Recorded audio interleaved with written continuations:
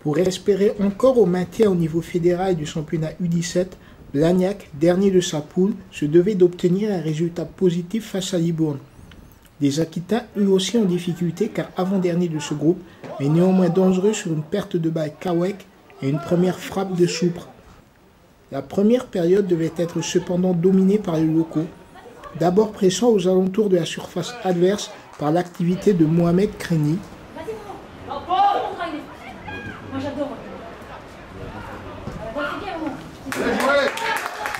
avant d'être récompensé à la demi-heure de jeu par la tête victorieuse au premier poteau de Keyan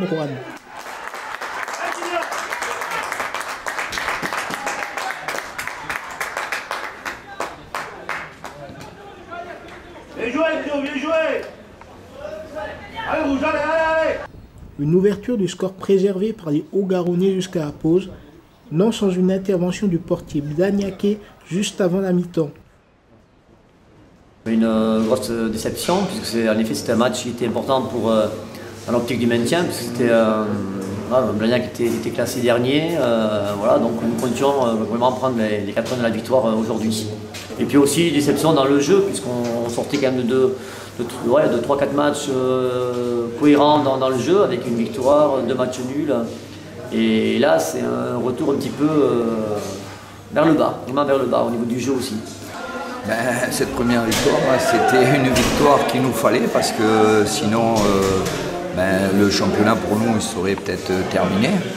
C'était une équipe qui était, euh, je ne dis pas euh, en bas du tableau, et donc il fallait, il fallait faire quelque chose. Donc les gars ils étaient avertis. Peut-être qu'on n'a pas fait un très grand match, mais on s'est battu, il y a eu beaucoup de courage. Euh, voilà, je suis satisfait pour ce résultat, je suis très satisfait. Après la manière, ça c'est autre chose, mais je suis très satisfait dans la mesure où, je le répète encore, euh, dans cette équipe, il y a quand même sept premières années qui jouent et nous sommes le seul club qui, qui évoluant avec cette première année dans, ce championnat. Fier de l'appui du vent en seconde période, Blagnac démarrait cette mi-temps pied au plancher pour inquiéter Libourne par Tony Pézat avant que Mohamed Kreni ne fructifie un centre venu de la gauche.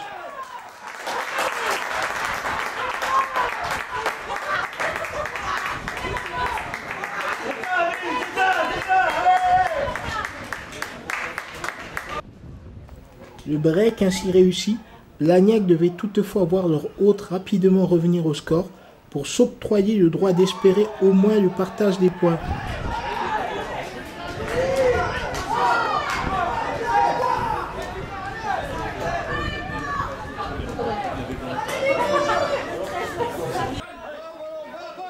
Mais malgré la volée de Pablo Cuesta, la marque ne devait plus évoluer, permettant ainsi aux joueurs du coach Martinez de s'imposer pour la première fois dans cette saison régulière.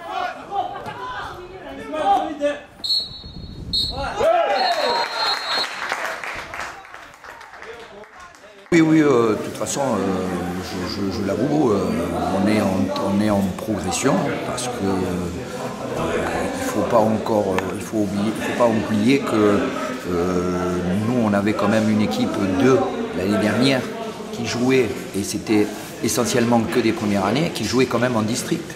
Et donc euh, je, prends des joueurs qui ont joué en district pour jouer en national. Vous vous rendez compte? Plus des garçons qu'on a recrutés ou que j'avais l'année dernière en 15 ans élite et qui jouent. Donc euh, il faut se mettre à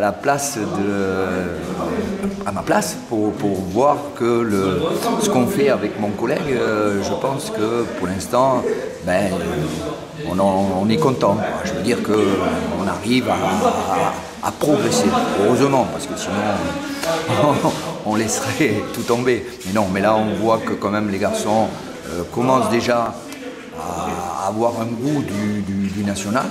Et puis euh, voilà, ça progresse parce que ça travaille bien, euh, ils sont assidus, ils sont volontaires, donc euh, à un moment donné, il fallait que ça paye. De toute façon, tous nos matchs euh, où on a perdu d'un but, c'était pas, c'était pas, mérité. On a, c'était vraiment pas mérité. J'étais malheureux pour eux parce que les efforts qu'ils faisaient.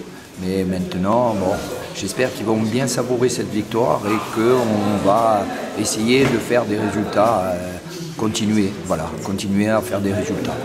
On verra bien.